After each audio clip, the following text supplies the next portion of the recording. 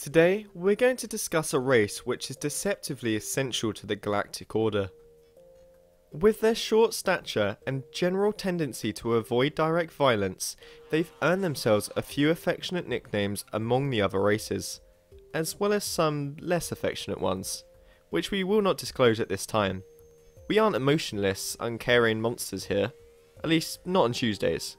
So let's not waste any more time. Our race this week is the Volus.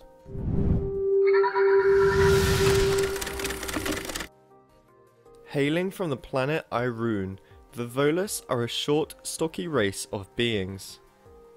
Due to the high pressure, high gravity, and high ammonia content of Irune, they are forced to wear environmental suits when venturing to other worlds and environments, not entirely unlike those worn by the Quarians.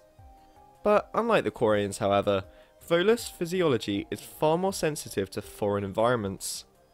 While a puncture in a Quarian suit will usually result in little more than a bad infection, a Volus suit puncture can cause his or her skin to literally split open.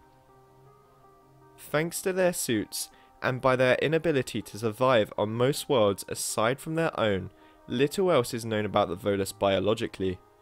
However, it is worth noting that many of their species are able to harness biotic abilities. So at least Element Zero seems to affect Volus in a similar way to most other races.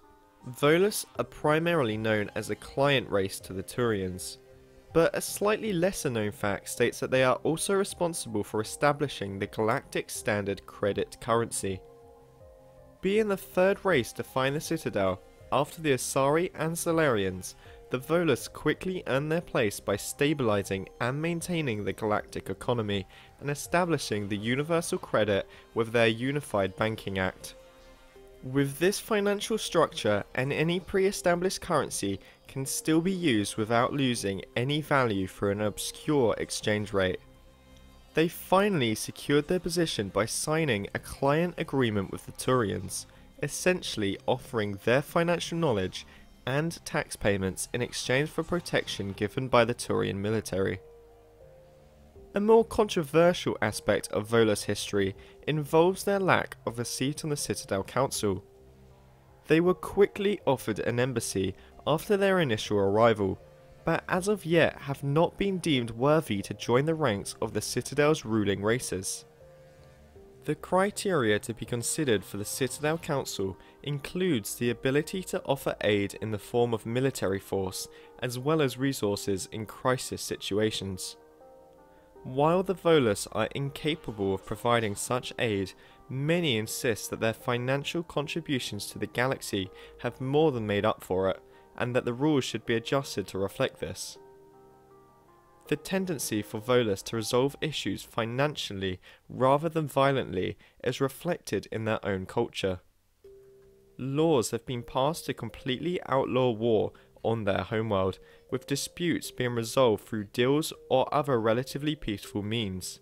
In this way, Volus are essentially pacifists, and some species look down on them for that. But even so, every race knows the galaxy would fall apart without them. When speaking to a Volus, one of the first things one tends to notice, aside from the constant sound of breathing through the air filters, don't laugh, they hate that, You're mocking me, Earth Clan. is how they formally refer to other individuals. For instance, they will call a human stranger Earth Clan. This is the Volus version of family names. Their belief is that one should not give their family name to an offspring, as it implies ownership over the individual. As such, while each Volus has a first and last name, two members of the same family will not share either. Contrary to popular belief, the Volus do indeed have a military force. They just generally keep to the skies, specialising in bomber units. Their client race status with the Turians allows for a well coordinated relationship on the battlefield, with Volus providing air support while leaving the ground assaults to the Turians. However, just as the Turians also have naval forces, the Volus don't exclude themselves from the battlefield entirely. Though the use of special suits, sometimes including power armor, biotics, and practical weapons, it is not entirely unheard of to see a Volus battalion on the ground. Sure, the Volus need help from time to time, but you know when everyone else needs help from them. All the time. Without the Volus, the galaxy would have no structure, no financial stability, and no biotic gods. I don't think anyone wants to live in a universe like that, so count your blessings and go hug a Volus today. I'm going to give one small Volus mention today, due to him possibly having a bigger alter ego than the Reaper Sovereign. But Niftu Cal from Mass Effect 2 is met on Ilium, and as mentioned in this video, claims to be a biotic god. His character was done very well, and you can instantly call his bluff when he almost falls over after being lightly pushed by Shepard. It is likely that Niftu was given the illegal biotic enhancing drugs Minagen X3 and possibly also Red Sand by the Eclipse mercenaries. After some amazing and hilarious dialogue, Niftu is either pitted against a powerful biotic Asari or is given a knock on the head by Shepard. Whether you made the Paragon or Renegade decision, I hope you were satisfied with the outcome.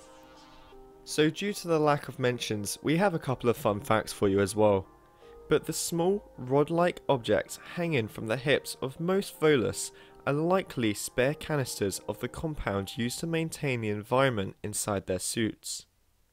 And aside from the obvious fan service, Volus were added to Mass Effect 3's multiplayer to give players a support class that emphasized boosting team score over personal score, thus allowing for more strategy options. So, are there any Volus fans out there? Any Volus haters? Anyone who just really loves the word Volus? And do you reckon the Volus will appear in Andromeda? Let us know your thoughts in the comments below. As always, leave a like if you enjoyed this video or learnt some new awesome facts. And subscribe to the channel if you enjoy our content here at Mass Effect Follower. Thank you for spending this time with us and we await to see you in a future video. Goodbye everyone.